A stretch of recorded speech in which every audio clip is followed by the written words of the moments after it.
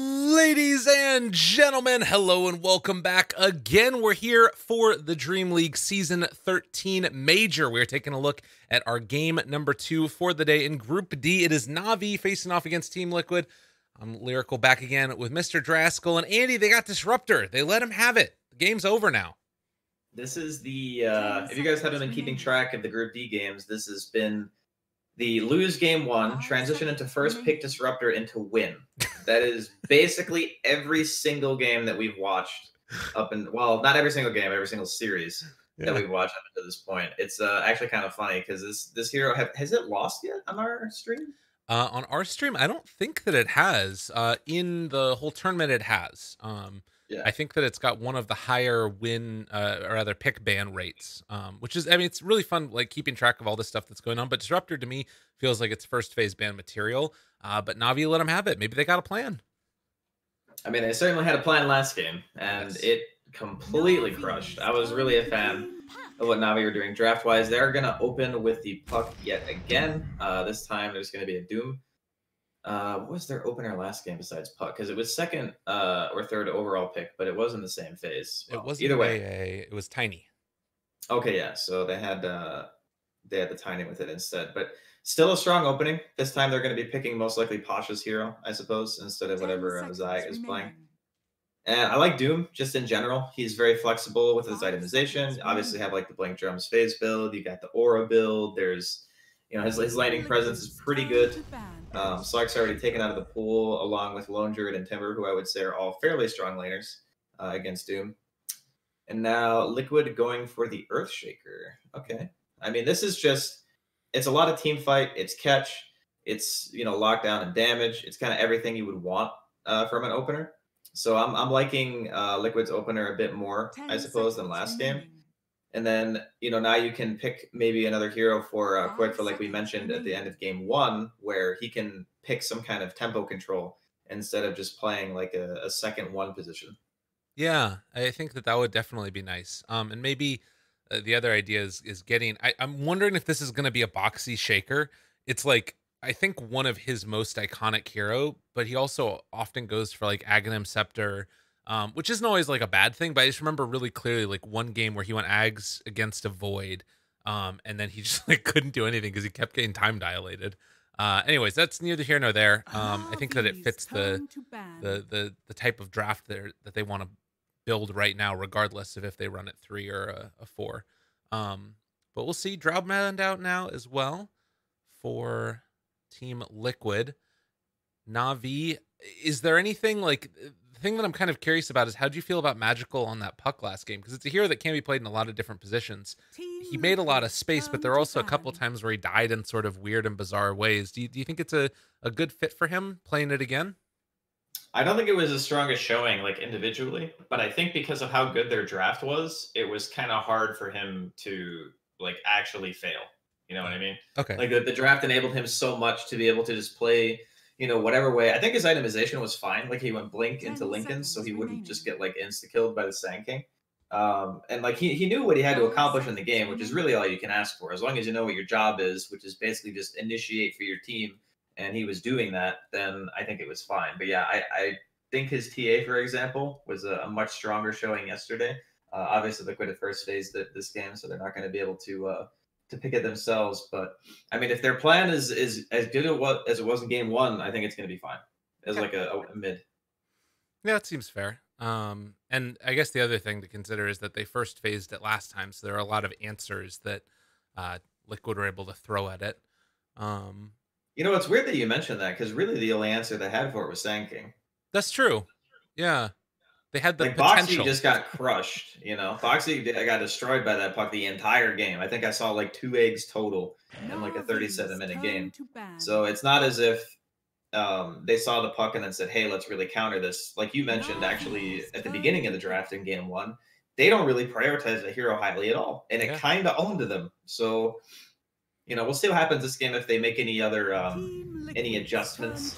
I wouldn't say that Disruptor is awful against Puck, but it does require a certain you know circumstance for you to really be able to reliably static storm him. His phase shift and stuff has to be down. His orb has to be down. Uh, otherwise, you know, he can just phase the glimpse, And then later on in the game, there will be Blink Echo, which is technically catch, but that doesn't come online right away. That's one of those things that's going to take some time before, if um, Magical is playing it again, that he really has to worry about it. And Liquid are just picking like it's just triple defensive heroes Yeah. at the moment. It's like who can pick the more passive lineup right now uh, from both teams? Because they're in in last game, Liquid were very scared of committing because they had the double melee core against the the Enigma and the the Naga Siren. But this time around, they're picking a, a much different approach where these heroes are all very, you know, they don't commit hard except for the Shaker. Everyone else can kind of just, you know, run away. Disruptor likes to sit in the back. PL is very elusive just as a hero in general. I'm not so sure how I feel about this PL pick though. Like after looking at the heroes that Navi have, Puck is great lockdown, kind of forces you to, to stay in the fight. You can't doppelganger. Um, there's a Winter Wyvern as well. so if your remaining. positioning is not very good, there's two other melee heroes to to receive a curse that you can just basically you can kill the Shaker. Yeah. Like you, you you will straight up just kill him if the curse is, is well placed, and then you know Lifestealer can just go Mjolnir. He definitely actually wants to build that item nowadays because of the new feast. Right. So I'm I'm curious. I want to I want to know what qojqva this hero is because he needs again he needs to be that hero that's going to control the map. Because right now Liquid have four heroes. They have some limited catch with a disruptor, but Shaker doesn't really set up a whole lot of kills against these types of heroes. Like Wyvern's going to fly over your fissure. Doom's naturally very tanky. Puck has phase shift, and Lifestealer has rage. So who are you killing right now? Yeah, totally. It, it doesn't feel like there's really that Five great hero, and remaining. I think that's why this life stealer pick is so good. And maybe I guess the hope that Liquid have is that PL is going to be a big enough core that he can just deal with that life stealer. But I think I've seen time and again life stealers go a bunch of different builds that uh, can sort of match PL's farm carry for carry. Uh, even into the later stages. And the other big thing to me is that it does feel like this lineup for Liquid, these supports don't really deal that much damage unless they're like super duper farmed. We have seen a couple farmed disruptors where you get like an Aghanim Scepter or something. But if you just manage to spot the real PL and doom him, um, in the later stages in the mid game, that's going to be a ton of their damage. So, uh, yeah, we're going to need a qojqva hero that can do a lot, but also doesn't need a ton of farm to do a lot with it. I guess is the way that I'm seeing it. Yeah, and there's also a lot of heroes banned, like midwise, that wouldn't be too bad this game. Like it would have been actually uh, a pretty okay Timber game, just because you do have that Abba, so you like shield your Timber, and he's basically unkillable. Um, but remaining. won't have access to that. So what's it gonna be? All right, the Dizzler. That's uh, it's Did obviously just call him good the this. Dizzler. Yeah, the Outworld Dizzler. Uh, I, it's okay. Like, I'm looking at their their overall lineup though, and I'm going. Your playmaking is still relatively limited, uh, and I'm really scared that if they lose their lanes, that they're gonna pretty much fall into the same thing they did in game one, where they're not gonna feel really confident about walking into anyone, because it's two really strong remaining. cores um, that are going to be frontlining at this point. Well, actually, we don't know for sure if Doom's going to be three, but I'm kind of just assuming. Um, because they need a mid hero, right, on the side of Navi, unless Crystallize is playing Puck again. Right. But we'll see. Uh, magical playing puck. Sorry, yeah, magical. Yeah. Um geez, I don't know. Uh I'm I'm kind of wondering if you just try and go like for an all inny type of strat and just end the game because until like Earthshaker gets a blink dagger, I don't see how you you do anything with this team liquid team. I don't I don't know like PL just wants to farm OD maybe he can do some stuff, but it's not like he's really catch. It just doesn't seem that great. I don't know, man. Andy, I'm worried for Team Liquid here. I feel like Navi have this in the bag, and I haven't even seen the fifth pick yet. Yeah, I mean, I don't really want to completely discount them because these are the types of games where you can overcome like your lineup adversity through just good teamwork and coordination. Like Okay. I've seen it a million times. Um, but I do think that their lineup is harder to play as of this particular moment. So, what is Navi's answer? They are taking their sweet time with this one. They're chilling. Uh, on the the same note, um, Puck is a fine matchup against OD in the mid lane. It's like it's it's perfectly playable, um, and they're gonna go for the Pit Lord. So Plus four Doom. uh, this is a pretty good Pit Lord game. OD is the only hero that you really care about uh, on on the Underlord, and you do have a lot of ways to stop the OD from hitting. Like you can go in and curse. Obviously, Zayac, when he hits six, you can just walk in and doom. There's coil. The silence stops from being able to cast orb. Um, yeah, I mean, I like Navi's lineup here. I'm always a fan of seeing Pit Lord. It's one of my favorite heroes. And Liquid, if they do get ahead, like if this PL is able to just play his game, farm it up with things like Aphotic Shield and, and a fair amount of save on the side of Liquid, I can see him getting out of control. Uh, but that's what they need to happen. Right. Like that, that's in my my eyes, that's their win condition. Is miCKe has a really really strong game, and they just play around the fact that there is a critical mass for this PL. He just has to get there. Okay, we'll see if they can get there. That's going to be the big thing to watch for. I, I will say that to me, it felt like Navi had two options with that last pick. You either go super duper early and take like a very push oriented hero, like a you know Shadow Shaman or so, you know something like that. Um, you know, there's obviously problems with that, but uh, maybe another other oriented hero, or they could pick another offlaner and go like more greedy. To me at least it feels that way. And now i in a way i'd almost feel like i'd rather see the navi draft play in the later game than uh, the liquid draft just because they have a lot of heroes that scale up. Like doom is going to be fat at some point this game i think if it goes late enough. Um, but you think that pl still can be the the sort of be all end all big bad boy carry uh, if he gets the farm I think so. I think PL is just that type of hero. Okay. Like the, if you have your timings really well uh, down and you have like your Manta Diffusal early enough and then you get to that heart, you know, that's the point where if you're far enough ahead and you have that heart, even if you get doomed, even if you're getting ran at, you know, and maybe it's uh, not hard this game because of lifesteal, maybe it's another item. But the third item is where PL really just like becomes a terror. Some people like to go Basher after the Manta Diffusal into just like Abyssal Blade and stuff it's kind of you know dealer's choice in this game, but you get there and you know you'll start to realize why PL is so popular in pubs because it's just it's not really an autoplay hero, but it feels extremely easy to like trick people with your illusions and whatnot nowadays. You know, you doppelganger, confuse them. he's in trouble though, and he's skilled Phantom Rush, so he's gonna take a lot of damage here. Damn. 500 damage or so there onto miCKe's face. Um, but yeah, they are going to. Looks like set up in the tri lane posture, but probably going to leave afterwards. I don't think that you want to tri lane with a an underlord necessarily. Um, maybe they do though. Who knows? It's 2020. You can do what you want to do. I guess crystallize is kind of fine down here bottom against Boxi. trade off for runes. Are they going to be able to sneak one away? Insania steps forward and keeps the Wyvern off that bounty rune. And yeah, it's just going to be a trade off two for two. All right, so let's see. I mean, Liquid, they do have the heroes to like kind of stall the game. You know, they have the Shaker, they have the multiple saves, the Astral, the Aphotic Shield, and the heal uh, coming in from Boxi, and then obviously stuff like Fissure, and hopefully eventually. Oh my God, Zayac! He comes Yo, back and snipes the courier. He's crazy. Oh, he saw that PL only had the one tango, and then figured he'd be sending out more regen and then he just comes on over and hits the courier down.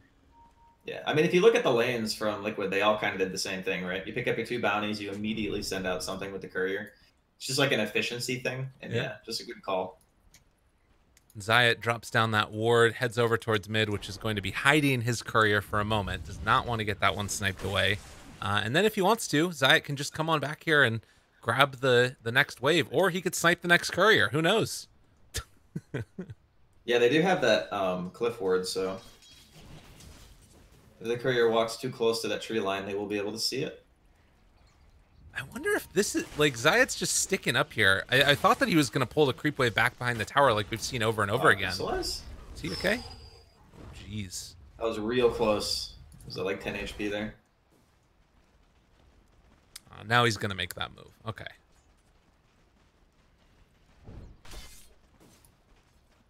Yeah, this is um, this is perfectly fine for Pasha. You know, he's got his regen. Uh, they are gonna get the kill eventually on a crystallize. They dove in there. He didn't start uh, with a healing salve, I guess. I think he went double tango ring quelling. Okay. Uh, he's not gonna lose out really on any XP, but they just lost both their couriers. So God. What the hell is happening? Yeah, Zayac's courier died. Um, Ilias, his courier also died. I mean, this is good for Liquid. Like making this kind of stuff happen, getting the extra income from the courier kills, getting the first blood onto the life stealer, which I don't really think that should have happened, but yeah, I'm guessing that because the Winter Wyvern started top and used the Arctic Burn, that Crystallize just let himself get hit too many times. Got like fissure blocked and stuff by the Shaker and just beat down. So Liquid abusing the uh, the early game movement of Navi here. Speaking of getting hit too many times, Boxi with this haster and is just punching away at that Wyvern there. And another courier goes down. Crystallize gets Boxi's courier because he was hitting that Wyvern so many times. There have been four courier deaths, only one actual kill in this game. Just a whole lot of murder. It's courier genocide. Dude, what is happening? Yeah, this is um it's a little bit bizarre, but the lanes have finally, at least for the side of Navi, kind of settled down. You know, the Wyvern's hanging out bot now. He's actually level three at before three minutes, which is really high level actually for a five.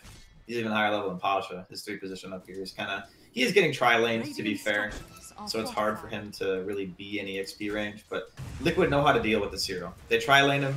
They know that if Pasha doesn't have like that early game EXP, Glimp's gonna be there to cancel mm. that teleport does have the TP, or rather the stick charges, but it's not going to keep him alive. And that was his TP used for that one too. So now in a hell of a lot of trouble. And Zayac forced the TP away. They don't have another glimpse here. So he will be able to escape. But no! Long TP and almost dies. He ends up dying back to the tier one. What in God's name? All right, they lose the Abaddon in the bottom lane also.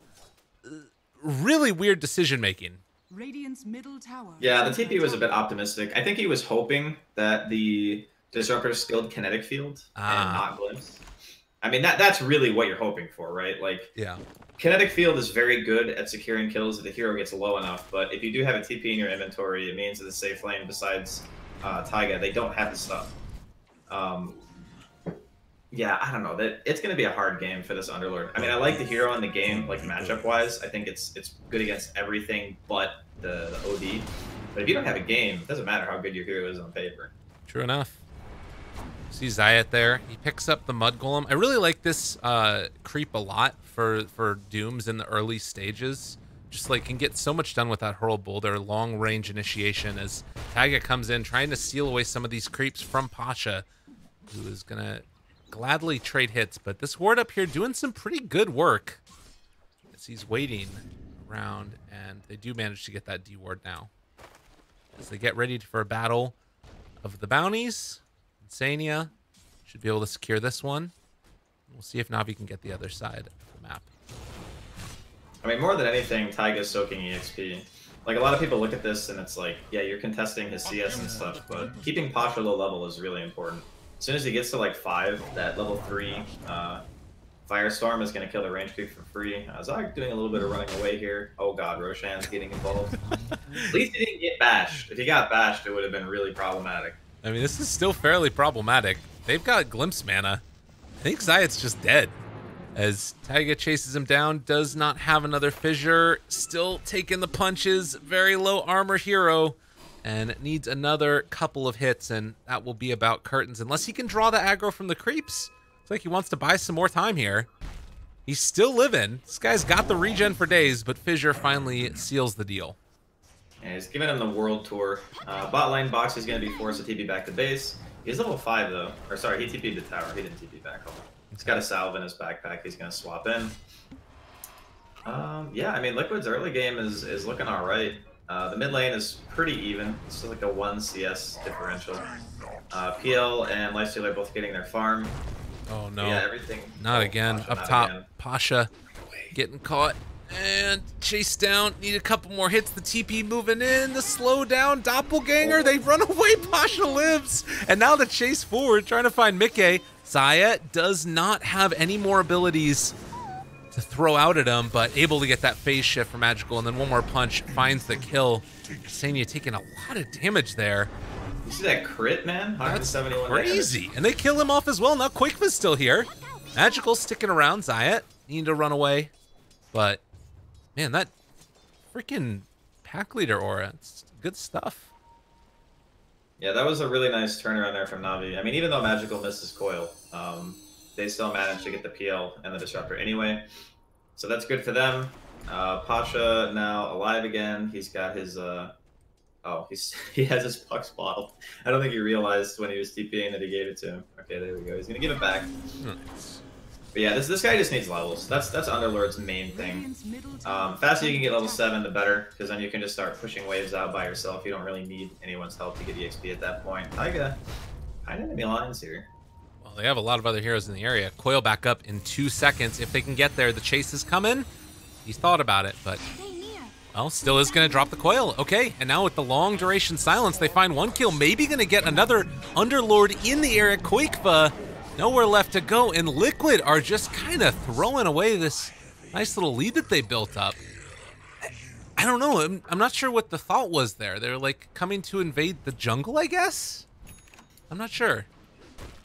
Yeah, especially considering they don't have like vision up that hill or anything. Like, what's OD realistically going to contribute in that situation? The guy doesn't have boots. He's got like two nulls and a, a glove of haste. So even though OD's base movement speed is pretty good, it's not good enough to run away from getting coiled.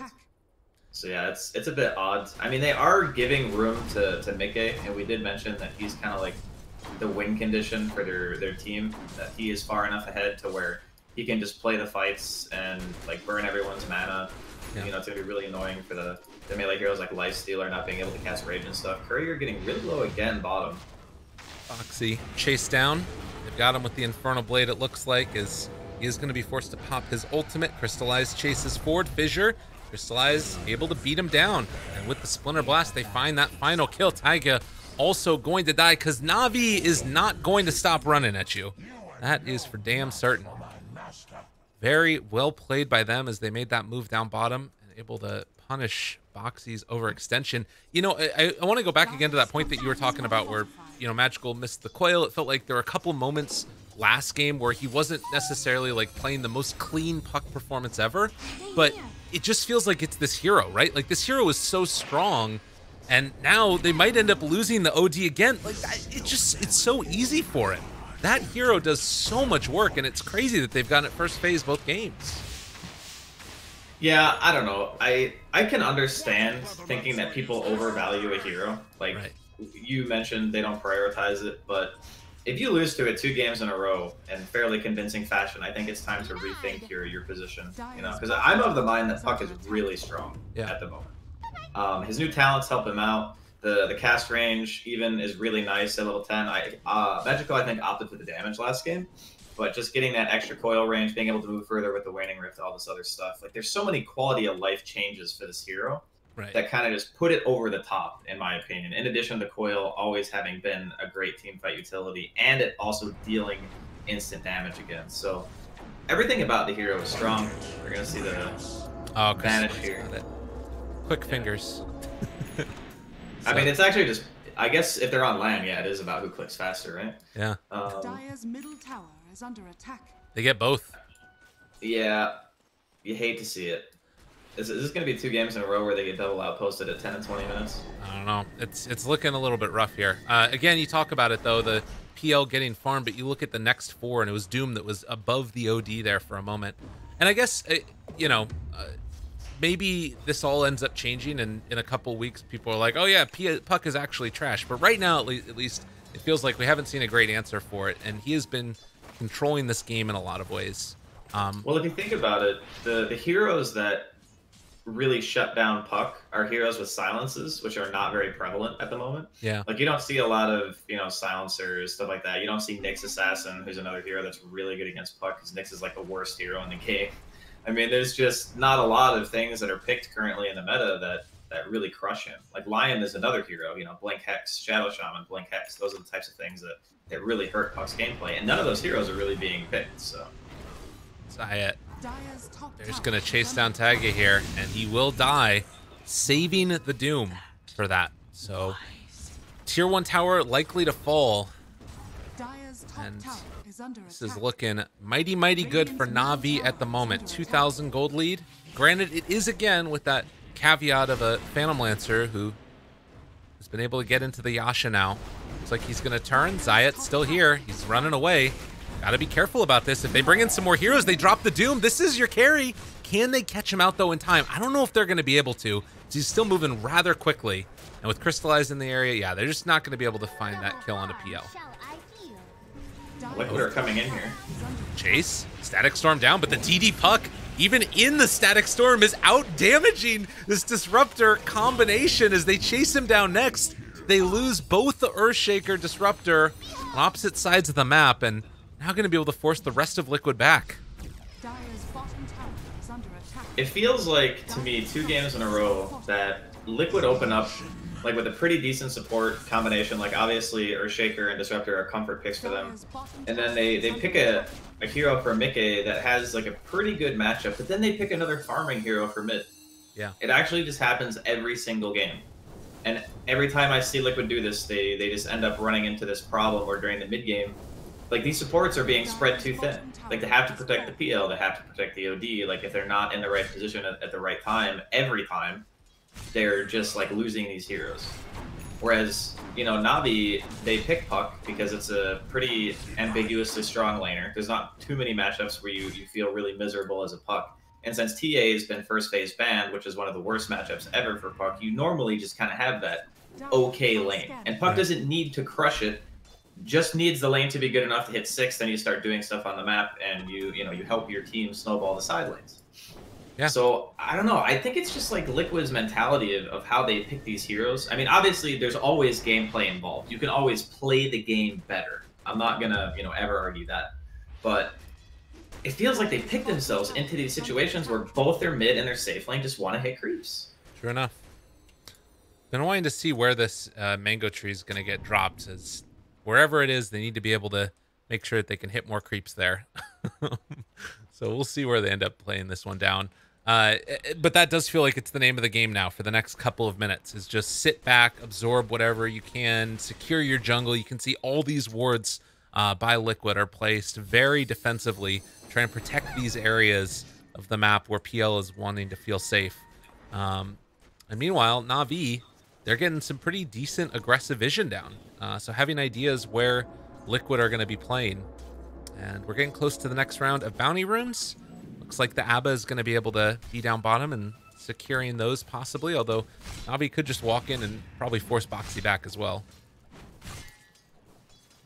Yeah, this uh this ABBA is going to be fairly ineffective, and it's not really his fault. It's just because of the rest of his team.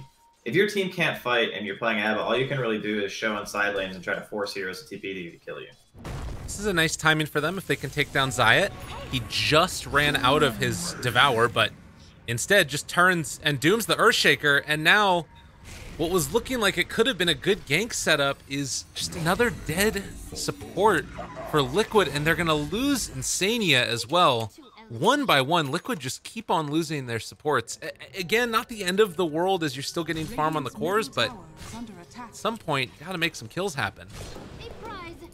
I just don't know how they're going to do it. Like, what is the? I mean, OD does a lot of damage. There's no disputing that, but he can't really walk in. Like, if the puck is off the map and you know that coil's up and he gets coiled, uh, he has to snap it. Basically, he has to walk out, which means that Abba has to be there. And if they're not like together as four, they're not taking an engagement. It's just not going to happen. Ooh. All right, they they are deep here. We'll see what happens. Boxi. Oh, good fissure. Nicely played there to interrupt the chase down. So Boxi will live through that. But now Insania, he's in a bit too deep. Drops the Static Storm. That is maybe going to be a chance for them to kill this Doom. Astral, Chase. Ah, but Magical jumps in. He finds the kill onto Insania and they back away. So they still manage to sneak that kill. But it was a Winter's Curse forced out at the very least. But right now, this game is feeling all Navi. fortified. Dire's middle tower is under attack. Yeah, I don't know. I'm I'm just feeling the same vibes that I did from game one. You know, where Navi's draft just feels very straightforward and easy to play, and Liquid are the ones who have to basically do everything, but they just don't have the damage.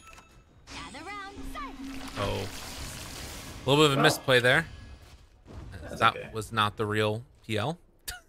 I mean, let's be honest. The margin for error on Navi's lineup right now is massive. They Yes. could mess up like five times, and I think you know the game would still be close at that point.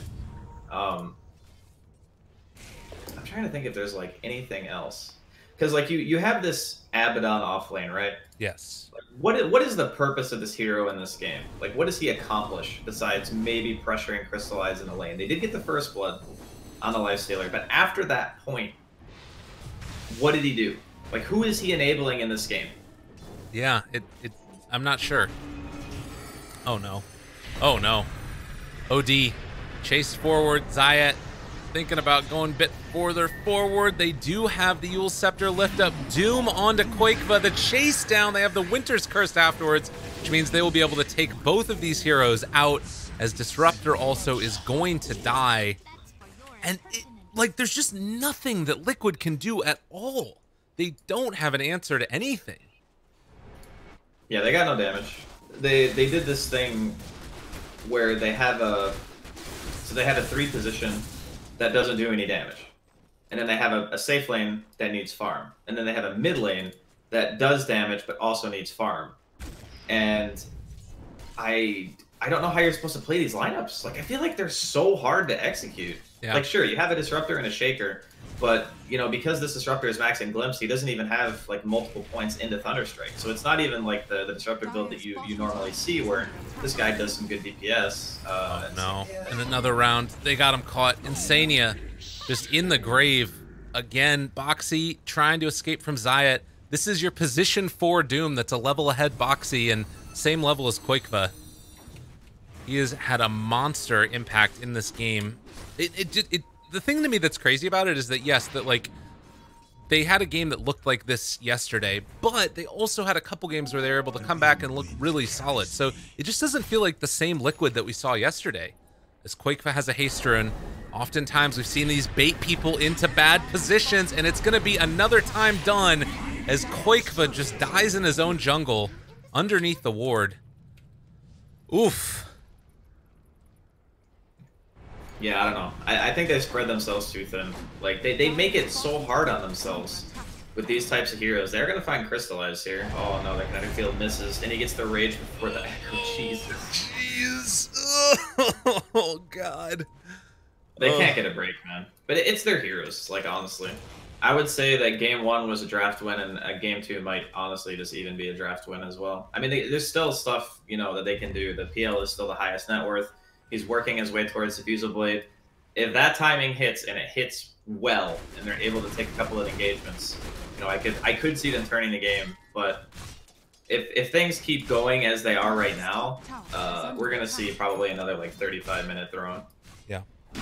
Well, and now it's Navi's turn to head on into the Rosh pit. You talked about Lifestealer going for that Mjolnir. He already has the Maelstrom done with the Heaven's Halberd. So OD is just like out of the game. I, I think he's been trying to work on this Aghanim Scepter. I want to see what like his item progression timeline is looking like at the end of this game because he just, I mean, they need to make space for one of the cores, and PL is their win condition. So that's what's been going on for poor old qojqva.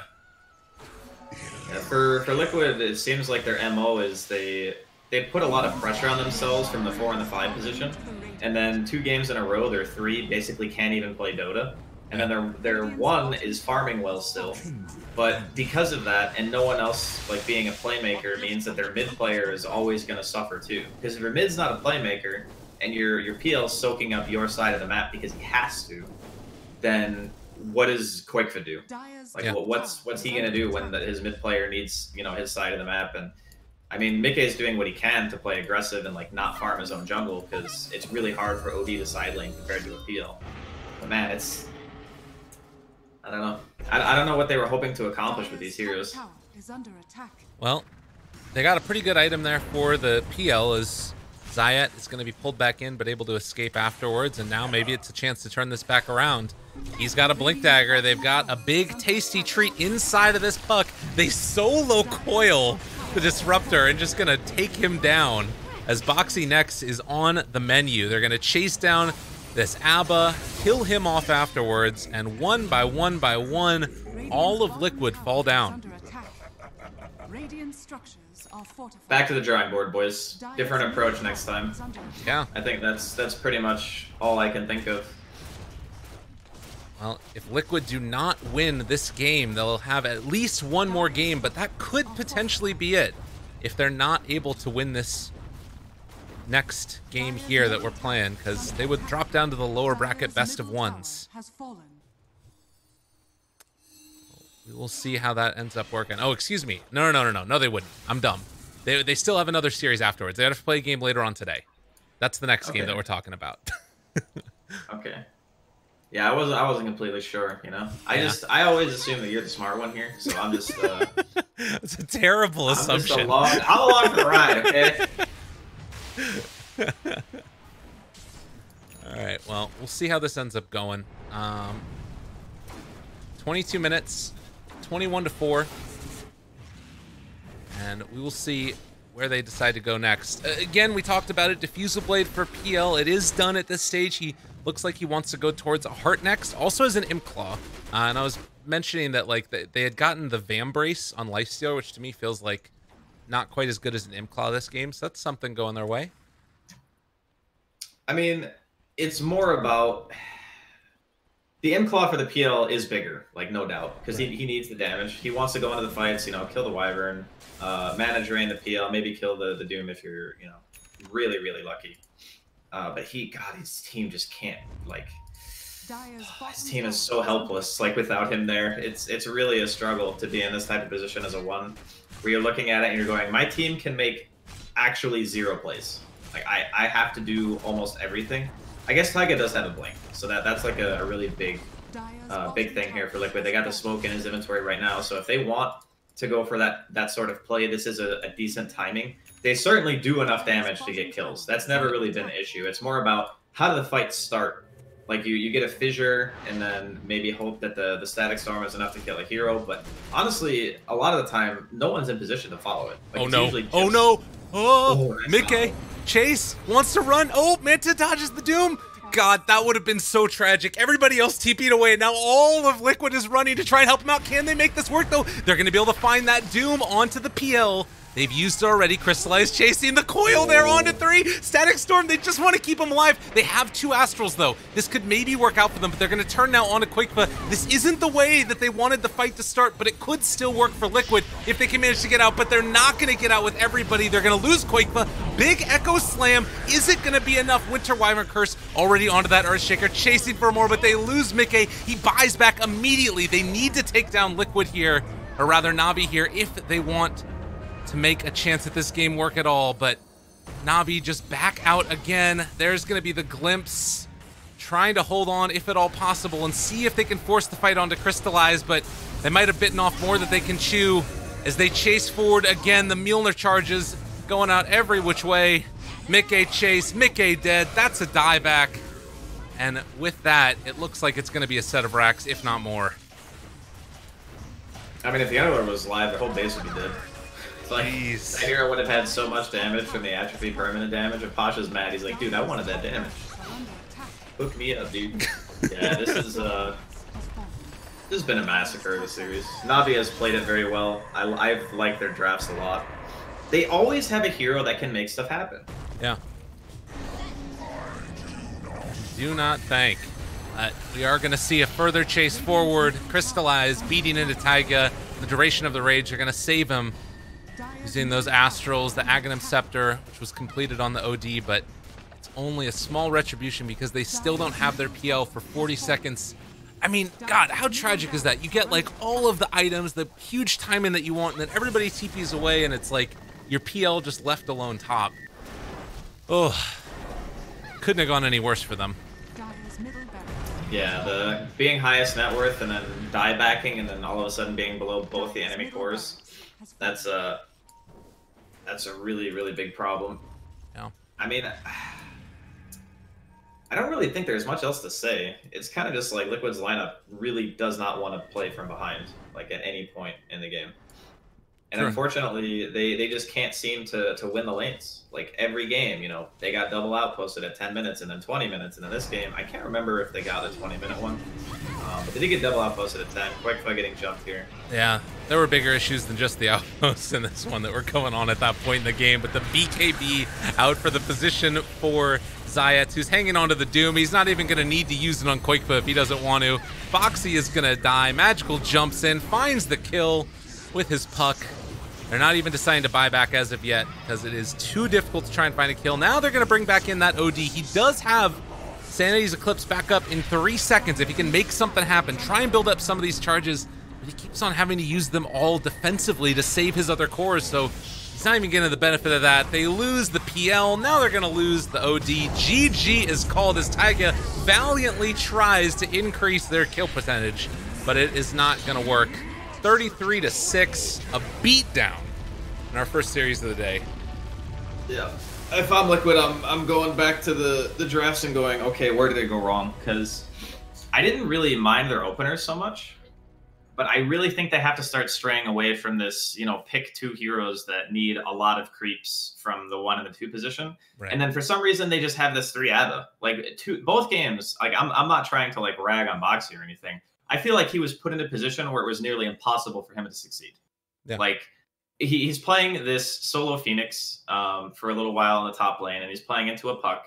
And the guy just can't even get an ult off the entire game. I think we saw like two total eights. In this game, he's playing an ABBA who, you know, most of the time, really all he wants to do when you're playing three is just sit in the side lane. He doesn't really want to go to fights that often. I mean, sure, he'll TP here and there if, if it looks like a good engagement, but he kind of just wants to occupy that space so, you know, other people can make stuff happen on the map. But he had no one to play with this game like just no one. Like Yeah. miCKe is never going to be in the same spot as him. Quick is never going to be in the same spot as him.